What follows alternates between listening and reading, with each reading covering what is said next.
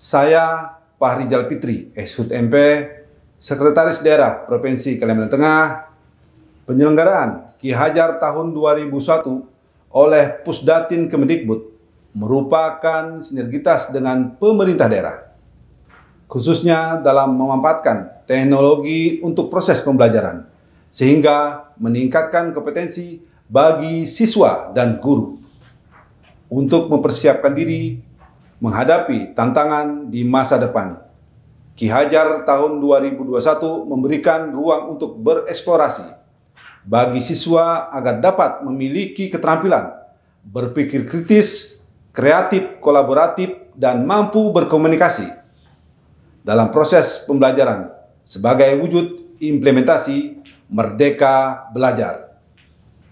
Untuk itu, kepada seluruh pelajar di Provinsi Kalimantan Tengah untuk berpartisipasi dalam mengikuti Ki Hajar 2021. Merdeka Belajar, wujudkan gen Ki Hajar berkarakter dan kompetitif.